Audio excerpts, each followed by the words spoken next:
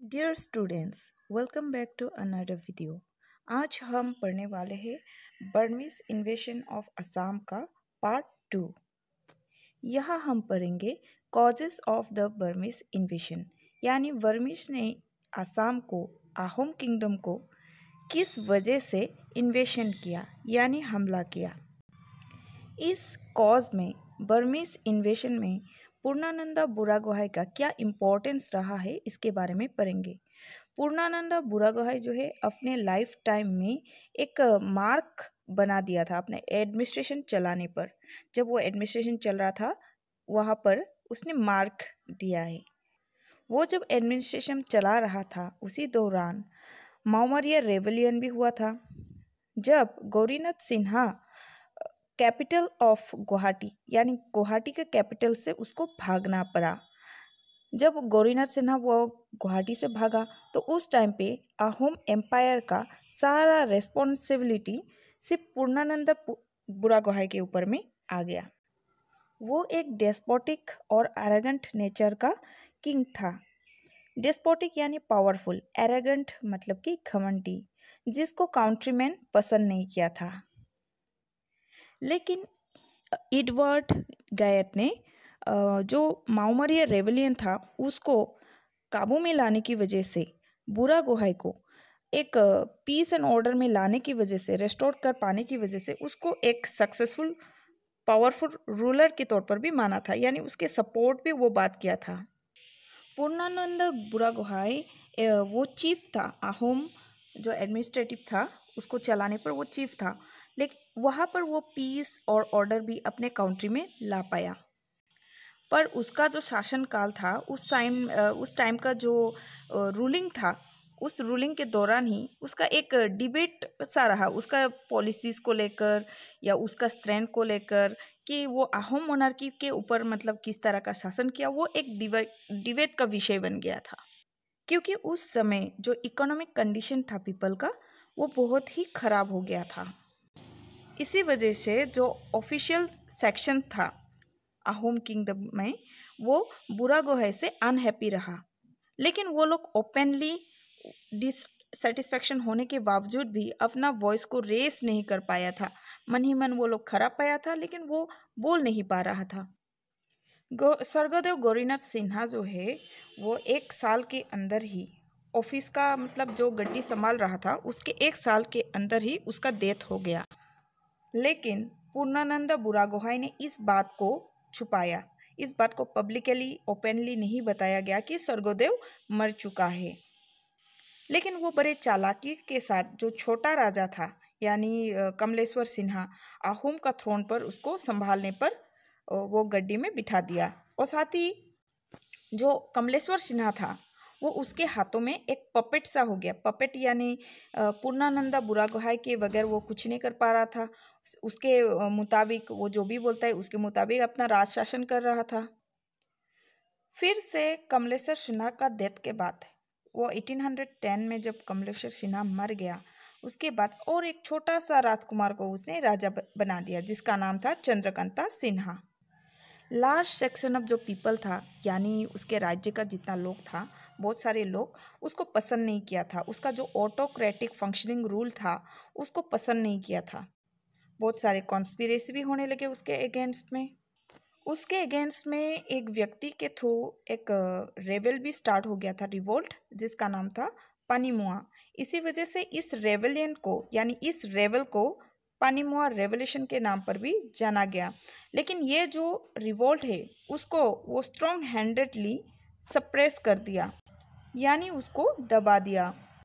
जब चंद्रकांता सिन्हा, आहोम किंग चंद्रकांता सिन्हा बड़े होने लगे तो वो बुरा गुहाई को डिसलाइक करने लगे। उसने चुपके से एक व्यक्ति के साथ दोस्ती किया जिसका जिसका नाम था सतराम। उसने सतराम को सारंगिया फुकन का भी दर्जा दिया और अपने बगल में राजा के बगल में यानी उसको बैठने का भी जगह दिया। धीरे धीरे सतराम भी बहुत एरागंट होने लगे। वो किसी का बात नहीं सुनता था। उसने यहाँ तक सोच लिया कि वो बुरा गुहाई से छुटकारा पा ले। लेकिन अर्लियर कॉन्स्पिरेसी के जैसा ही उसका जो प्लॉट था, उसका जो जो प्लानिंग किया था, वो डिक्टेट हो गया। फिर उसका जो कॉन्स्पिरेशन है, उसको ख़त्म कर दिया गया, वो नहीं कर पाया। फिर जैसे तैसे वो सतराम जो है, यहाँ से भाग गया। वो भागने के बाद नामरूप पहुँच गया, जहाँ पर नागा मिसक्रियंस ने उसको मार डाला। नेक्स्ट कॉज था conflict between Badan Chandra बर्फुकन and Purnananda बुरा गुहाई नेक्स्ट जो बदन चंद्र बर्फुकन है, वो दानदुआ द्रो जो हुआ था, उसका इन्वॉल्वमेंट में सस्पिशियस था। इसी वजह से उसका जो पूर्णानंदा और बदन के बीच में जो रिलेशन था, वो खराब होने लगा। इसी वजह से बदन चंद्र को कालिया भूमरा ने रिप्लेस किया एज ए न्यू बर्फुकन। लेकिन बाद में पूर्णानंद बुरा गोहाई को ये भी मालूम चला कि बदन जो बर्फुकन था, वो सतराम के साथ उसके अगेंस्ट में प्लॉट करने में साथ था। यानी उसके अगेंस्ट में जो पहले एक इंसिडेंट हो गया, एक कॉन्स्पिरेसी हुआ था, उसमें वो बदन चंद्र ने सॉरी कालिया भोमोरा भी मतलब साथ में था बदन चंद्र नहीं कालिया भोमोरा लेकिन पूर्णानंद का जो बेटा है रेशा रेशा नाती, वो बदन चंद्र के बेटी के साथ शाद, विवाह हुआ था, जिसका नाम है पीजो गाभारू। उसके कारण उन लोगों का जो इम्प्रूवमेंट था, यानी जो रिलेशन का इम्प्रूवमेंट था, वो बाद में धीरे धीरे अच्छा होने लगा। और जब कालिया भोमोरा मर गया यानी कालिया भोमोरा का डेथ हो गया, फिर से बदन चंद्र को बर्फुकन के तौर पर गुवाहाटी में अपॉइंट किया गया। लेकिन जो बदन चंद्र था, वो ऑपरेसिव होने लगा। और यहाँ तक कि उसने गोल्ड एंड सिल्वर जो था में उसका भी मिस यूज़ किया, यानी उसका भी अच्छी तरीके से इस्तेमाल नहीं किया। धीरे धीरे वो जो इनहेबिटेंट्स ऑफ़ गुवाहाटी था, उसके अगेंस्ट में मिजरेबल मतलब क्रिएशन किया, जो पब्लिक था, उन लोगों को मिजरेबल उन लोगों का सिचुएशन और भी मिजरेबल कर रहा था। जब बुरा गोहाई ने ओपीएम के अगेंस्ट में प्रोहिबिट किया था, यानी ओपीएम का यूज़ को मना किया था और जो हेल्थ था पीपल का वो ख़राब हो रहा था तो बर्फुकन ने इस ऑर्डर को भी नहीं माना। उसने यहाँ तक कि बुरा गहाय का जो ऑर्डर है उसको नेग्लेक्ट किया। इसी वजह से फिर से बुरा गोहाई और बर्फुकन के बीच में जो राइवलरी जो अगेंस्ट में था वो बाहर आने लगा, यानी रीसरफेस हो गया। बाद में जो बदन चंद्र का जो बिहेवियर था अनबेरेबल हो गया उसको हजम नहीं कर पा रहा था इसी वजह से बुरा गुहाई ने उसको रिमूव करने को डिसाइड किया।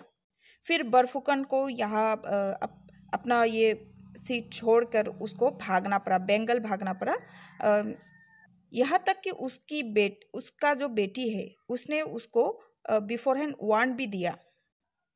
बदन चंद्र फिर वेस्ट बंगाल जाकर डेविड स्कॉट के साथ मिला रंगपुर पे before his arrival in Calcutta उसने ब्रिटिश आर्मी से रिक्वेस्ट किया ताकि उसको आर्मी को दे और king Chandrakanta against king Chandrakanta जो है, वो चंद्रकांता के साथ मिलकर वो पूर्णानंद बुरा गुहाई को अटैक कर सके। लेकिन जो गवर्नर जनरल था, उसने उसका अपील को रिफ्यूज़ किया, क्योंकि वो लोग internal affairs of the state में वो लोग इंटरफेयर करना नहीं चाह रहा था। और एक बात ब्रिटिश गवर्नमेंट को ऑलरेडी मालूम था कि पूर्णानंद बुरा गुहाई जो था, वो बहुत लॉयल और कमिटमेंट है अपने ड्यूटीज़ के टूवर्ड्स इसीलिए उन लोगों ने बदन चंद्र को उसके अगेंस्ट में हेल्प करने से मना कर दिया। थर्ड नंबर पॉइंट पर हम पढ़ेंगे कि किस प्रकार बर्नीस ने इंटरफेयर किया। जैसे कि ब्रिटिश ने ऑलरेडी रिफ्यूज़ कर दिया बदन चंद्र बर्फुकंड को हेल्प करने के लिए। जब बर्मी, इसीलिए वो लोग बर्मिस रिप्रेजेंटेटिव जो कलकत्ता में आया हुआ था, उससे मिला। वो बर्मीस के साथ मिलकर आमारा पारा सॉरी आमारा पूरा जो कैपिटल है बर्मा का, वहाँ पर चला गया और जो किंग था, वो किंग से बुरा गुहाइज का जो टायरनी है यानी बुरा गोहे का जो क्रूएल रूलिंग पावर है, उसको ख़त्म करने के लिए उससे, उसका आर्मी का रिक्वेस्ट मांगा, यानी हेल्प मांगा। बर्मिस पर और भी बहुत सारा रीज़न से जैसे कि वो बदन चंद्र को हेल्प कर सके, क्योंकि उस समय जो राजा था अवलंग पाया, वो अपना जो राज्य है, फ्रंटियर को एक्सटेंड करना चाह रहा था। इसी वजह से उसने अपना जो रूलिंग पावर था, यानी अपना जो किंगडम था उसको और भी एक्सटेंड कर पाया। यहाँ तक कि मणिपुर और कचा, कचार में। उसने वेस्टवर्ड पॉलिसी को अपनाया एक्सपेंशन का, क्योंकि बर्मा तो हमारे ईस्ट के तरफ़ होता है तो इंडिया का वहाँ पर जो मणिपुर और कचार है, उसके ऊपर भी वो एक्सपांड करने लगा। उसका जो ऑक्यूपेशन है अराकान यानी रिपीटेड अटैक वो मणिपुर पर बार बार अपना एक्सपांशन करने के लिए, अपना किंगडम को एक्सपांड करने के लिए बार बार हमला कर रहा था। और जो बर्मिस किंग है असम को अपना मेन मिलिट्री बेस बनाना चाह रहा था ताकि वो लोग इंग्लिश पे हमला कर सकें। और जब कैप्चर ऑफ़ आकारान हुआ है in seventeen hundred and eighty four में during the tenure of king Bodawpaya, वो लोग एंटायर बे ऑफ़ बंगाल में अपना सुप्रीमेसी बना पाया। From Mergui island to Chattogram port Burmese का जो ऑटोक्रेटिक रूल था। इसकी वजह से आक्रानिस लोग को वहाँ से मूव करके ब्रिटिश टेरिटोरीज ऑफ़ बंगाल में आकर रेफ्यूजी के तौर पर रहना पड़ा। और इस तरफ़ बर्मिस किंग जो है बदोपाया वो फ्रूटलेसली प्रेशर दिया ब्रिटिश गवर्नमेंट के ऊपर कि वो रेफ्यूजीज़ को दोबारा उसको भेज दे। ये इशू जो है, एक टेंशन बना दिया बिटवीन बर्मिस एंड इंग्लिश के बीच में। और इसी टेंशन की वजह से बदन चंद्र का जो हेल्प था वो बर्मीज से मांगना, वो इन फेवर ऑफ़ चंद्रकांता, वो बर्मीज किंग के लिए एडवांटेज लगने लगा। इसीलिए वो बिना प्लान के, यानी बिना प्लानिंग के, उसका कोई प्लान नहीं था असम को टेक ओवर करने का। लेकिन उसने सिर्फ़ मिलिट्री आर्मी को बदन चंद्र के जो दे दिया, यानी बदन चंद्र को मिलिट्री हेल्प दे दिया अगेंस्ट पूर्णानंदा।